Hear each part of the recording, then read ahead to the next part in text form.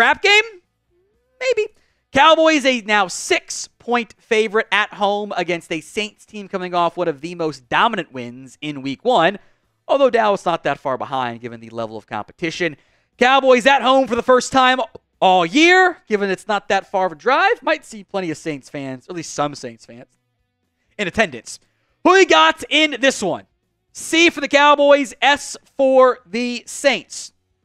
Let me know in the comments of today's video. C or S, I'd like to see one hell of a lot of C's in the comments. All right, the Cowboys injury report here. Jake Ferguson, again, we're filming this, by the way, on Thursday. Going to go out Saturday, so should have a better feel overall for what's probably going to happen. But Ferguson's knee I didn't practice Wednesday or Thursday. I have my doubts there. Marshawn Kneeland has a calf injury. I have some real concerns on that one. I just had real concerns he went from DNP to limited on Wednesday to Thursday. I do think that bodes super well for him. So fingers crossed there. Not too worried about CJ Goodwin, two straight days of being limited. And then John Stephens Jr. has a hamstring. He did not practice the first two days of the week. That does not bode very well for him. The Saints, meanwhile, D'Marco Jackson uh, has a calf injury that seems likely to, to not allow him to be able to go. He's banged up. Uh, Jaylan Ford has has been a little bit nicked up as well. A fellow linebacker, limited back to back, back to back participations. Marshon Lattimore didn't go Wednesday or Thursday. His status very much in doubt. Tyrann Mathieu upgraded to limited uh, with his heel injury, so that bodes well for him. Foster Moreau was limited to four after a concussion. He should be good to go, barring a setback. Lucas Patrick went from DNP to limited, but Taliese Fuaga went from limited to DNP with a back. So a huge concern there on the number one corner, Marshon Lattimore, and the offensive tackle, uh, Taliese Fuaga, the team's first round pick. It'd be Oli Udoh tackle if he can't go, and that's not a great sign. Uh, Khalen Saunders, by the way, also did not participate with a with a calf.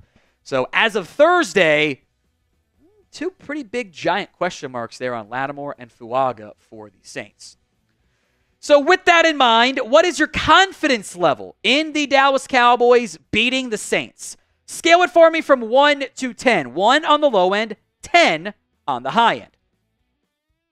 Let's hit some matchups to watch. Number one is Mike Zimmer against Klint Kubiak. There are some very fun elements involved here. A, Mike Zimmer knows Klint Kubiak very well.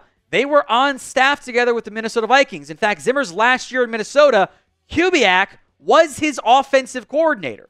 He knows a ton about what things he wants to run there.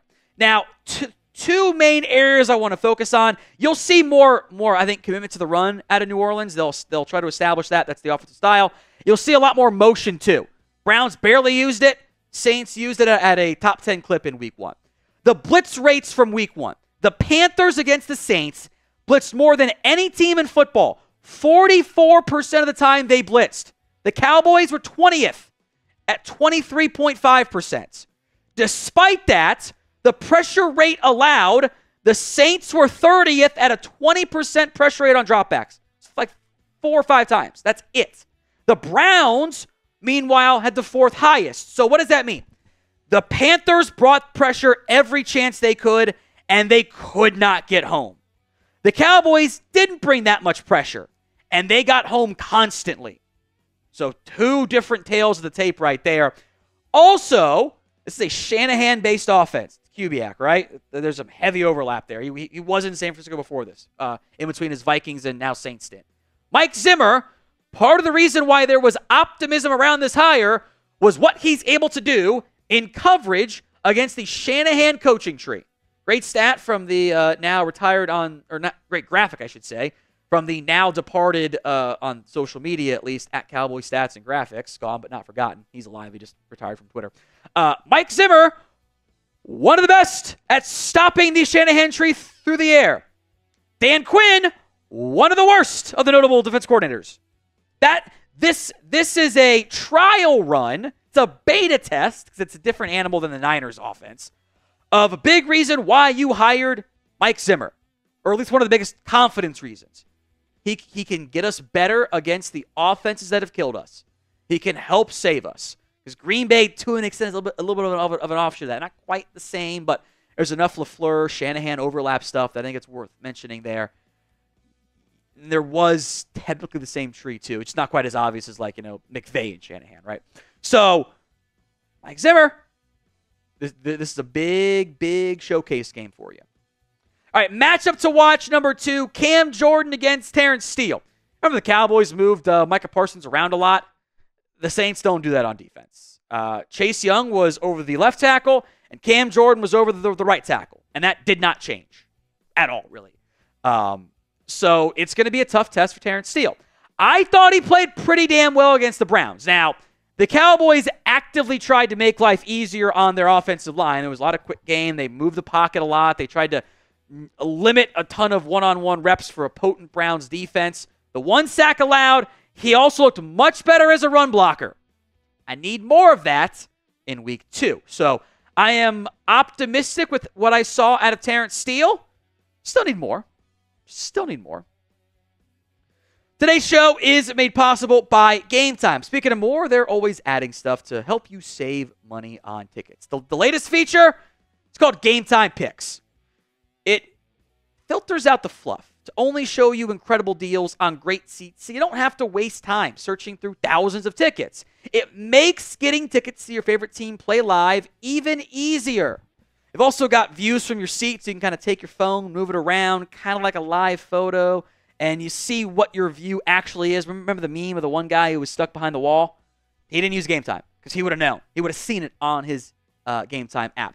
So download the Gametime app Create your account and use code Chat Sports for $20 off your first purchase. Terms apply.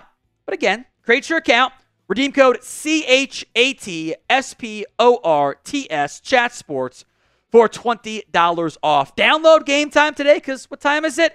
It's game time. Trigger warning the underthrown pass against Cowboys defensive backs. Uh, I will never mentally recover from that 2021 Thanksgiving game. You remember that game, right? Cowboys, Raiders, Cowboys fall behind, they come back, they go to overtime, they lose. The singular biggest reason why the Cowboys lost that game, five different times they got off the field on third down only to have it come back because of penalties. They had 96 penalty yards on third downs. Under and it was a barrage of underthrown passes from Derek Carr that were such bad throws, the receiver had to try to stop and come back to the football. So it's the classic BS underthrown pass versus DPI. I will have a bout of PTSD if I ha- if I see it happen again. Get your head around. Easier said than done when you're playing from behind, but that game lives rent free in my mind because it was a bunch of crap. All right, number four is the Mike McCarthy offense against Dennis Allen. This is part of your little stretch. A lot of good defenses in a row. And I don't think Dennis Allen is a particularly great head coach. He is a very good defensive mind, however. So I worry a little bit uh, about that matchup. I think it's going to be a bit of a tricky one for the Cowboys offense. Who is your better head? Who is the better head coach? MM for Mike McCarthy, DA for Dennis Allen. Let me know right now. Number five is what I, I call it the defensive spine against the Saints. And that kind of, it's just, it's the middle of your defense, right? It's, hey, how are your defensive tackles? How are your linebackers? How are your safeties? And I think for what Mike Zimmer wants to do, you can even mix in Jourdan Lewis, who we'll come back to here more in depth in a little bit. Against a team that I, I think is probably just bad in Carolina, who had just nothing going on defense. It's going to be a bad defense this year. Saints were third in yards on the ground seventh in EPA per carry, ninth in success rate, fifth in explosives, and one thing that gives me some hope here they were only 18th in yards before contact, they were ninth after contact. I thought the Cowboys tackled pretty friggin' well in, in week one. And if you do that again with your linebackers, Overshown, Kendricks, Jourdan Lewis, I think that you can have much more success stopping the run against the Saints than Carolina did. I want you guys to get your score predictions in between the Cowboys and the Saints. Let me know in the comments now. Stock players to watch. Number five is Tyler Guyton. And, you know, the, the Cowboys tried to hide him, which they should have. The coverage stuff, or the, the pressures allowed look good. One sack, one hurry. Yeah, I don't, I didn't love what I saw going back and rewatching with, with, with the better angles on Tyler Guyton. Not that he was terrible. Um, I don't think he was bad, but I, I, think some, some of his bad habits came through. And you saw Fox did a good job showing it one time live. His mistake, his main mistake, he he lowers, he, he drops that head and he headbutts you, and it gets him out of position. And against top tier pass rushers, that's that's going to be a more pronounced issue. So I think the the floor is fine. You know, if you get that every week, hopefully some better run blocking. Um, I, I, I think you'll, you'll be okay there. But I, it, it is not a. It, he is not a put him on an island and forget him guy. Uh, Tyron Smith was that. Um, and I, I don't think Guyton's there yet, and then that's okay. He's probably not supposed to be there yet. So it, it's probably the toughest test he's going to face all year. Uh, TJ Watt will probably get more reps against Terence Steele, which terrifies me too. Uh, but so no, no, no to go but up.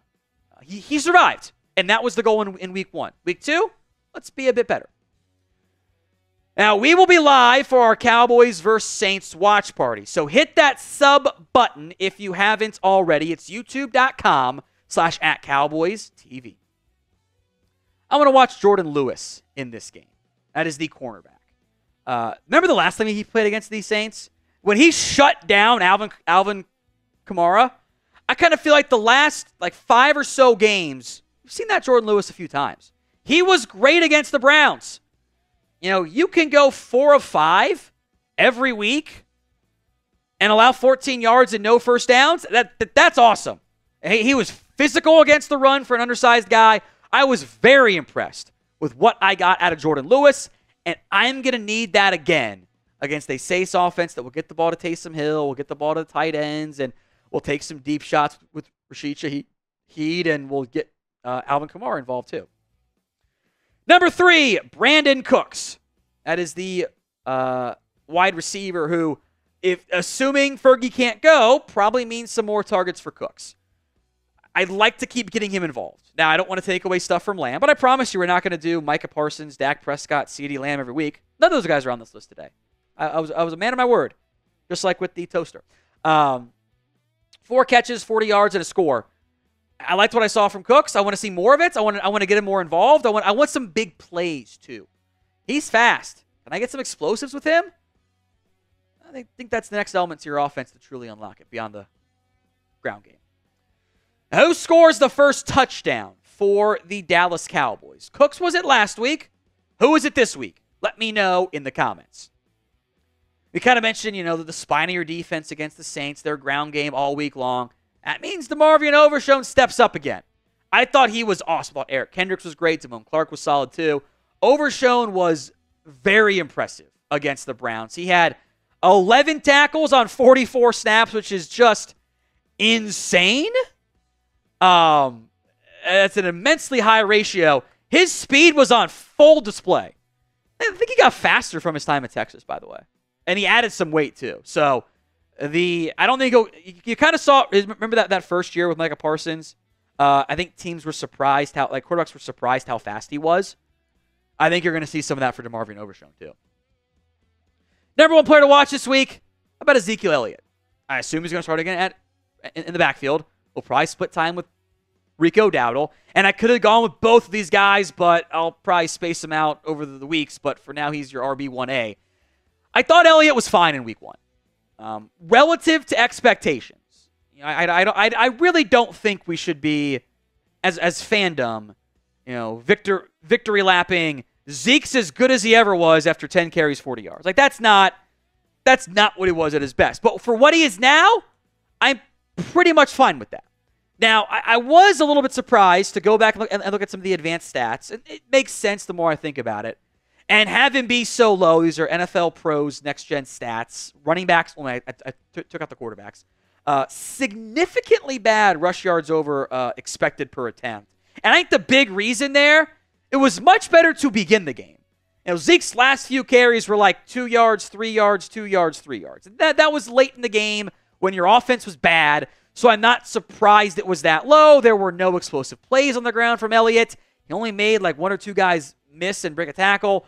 So he got what was blocked, but didn't always get more than that. And it is expected to get a little bit more than that. Now, his EPA was high because he had the touchdown run, which is a nice six yard touchdown run that really helps your EPA, and didn't go backwards ever. And that's always one of the big things with. The thing I've always liked most about him, especially in, in his re- recent years, if you need a yard and it's blocked for negative one, if it's bad blocking, he going to get you one. Now, he not going to get you 25 if it's blocked for five or 10, but expectations matter there. The success rate was also pretty low. He didn't get that many short yardage stuff, which is why that number was lower. He also faced a pretty light stacked box number. And part of that was the formation. They, they ran a lot of shotgun runs. They did better in shotgun runs because it's lighter boxes and you can have more success up front. And I want to see a little bit more yards after contact. 2.5. He's kind of like, he's like always good for at least one or two on every carry. Like Zeke is not a player who goes sideways when you hit him. He always falls forward. But I'd like to find some explosives. Does that come from Zeke? Does that come from Dowdle? Did he give Deuce Vaughn a chance? I, I still, I, I, think you have a, a fine floor. I do think your ceiling right now, until we see otherwise, remains a bit limited in this backfield.